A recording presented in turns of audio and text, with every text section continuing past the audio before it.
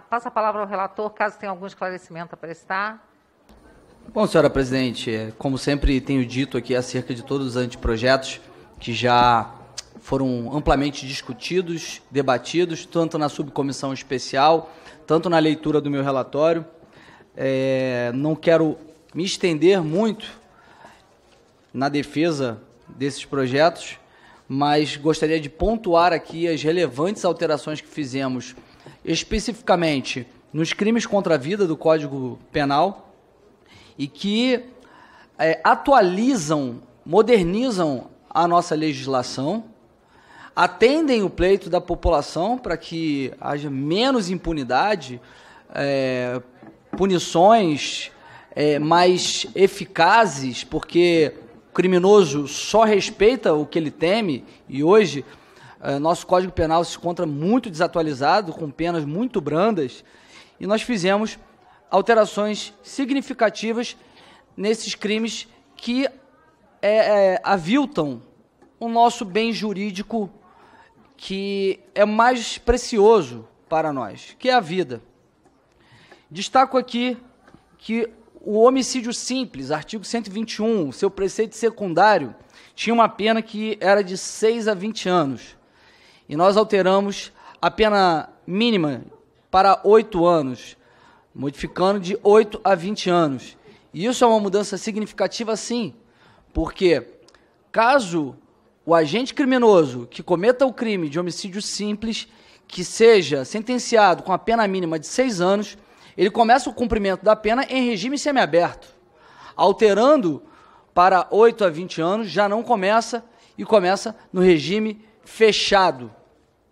Alteramos também as qualificadoras. A qualificadora que antes tinha somente a questão da mediante paga ou recompensa ou motivo torpe, inserimos também o ciúme, por ciúme, é, para poder estar solucionando qualquer divergência jurisprudencial, doutrinária, ou que juízes muitas vezes possam estar entendendo o ciúme como não sendo um motivo fútil ou um motivo torpe.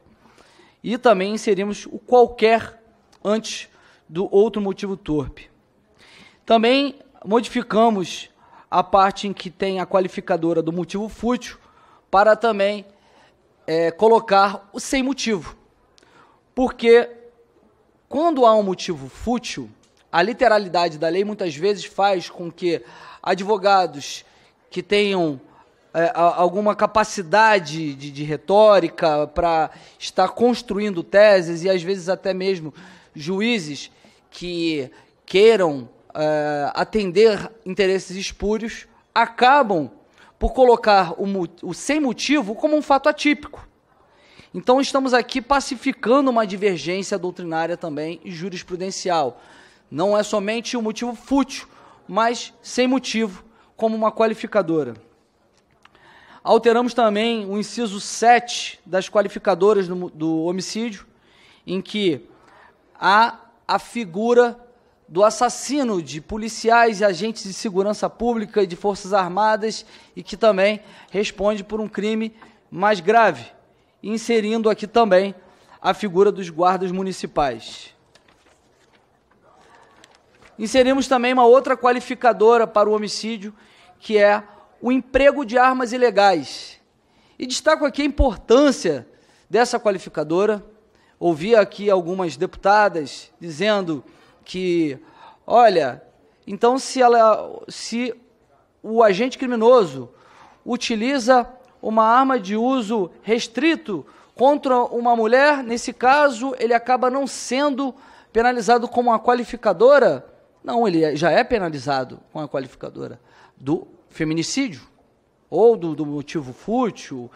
Mas, nesse caso, nós não estamos aqui buscando tutelar essa, esse bem jurídico. O bem jurídico, obviamente, é, geral é a vida mas estamos querendo fazer uma reprimenda maior para quem utilize armas ilegais. Armas ilegais são armas obtidas de forma é, ilícita no mercado negro, através de furtos, de roubos, de sequestros, frutos de atos criminosos. e que por isso essas armas não poderiam estar nas mãos desses criminosos, gerando mais crimes. Se essas armas são obtidas através de crimes, esse criminoso que utiliza essa arma, ele deve ser punido de forma maior. Ele deve ser punido com maior rigor para inibir a atitude, a iniciativa de criminosos que usam essas armas ilegais. Entendo a preocupação de alguns de quererem retirar esse, esse inciso, dizendo que devemos colocar armas é, de uso restrito, mas armas de uso restrito, elas são legalizadas no Brasil para quem pode ter o porte e a posse. E nesse caso, não seria caso de inseri-los como um homicídio qualificado, mas sim aquele que obtém o armamento através de outros crimes e utiliza para sua conduta contumaz, reiterada é, no, no mundo do crime. Por isso, essas são as alterações importantes, significativas que fizemos aos crimes contra a vida e peço o apoio de nossos pares para que possamos aprovar e atender os anseios da sociedade por um sistema é, penal que esteja modernizado e que não esteja complacente com a impunidade. Obrigado.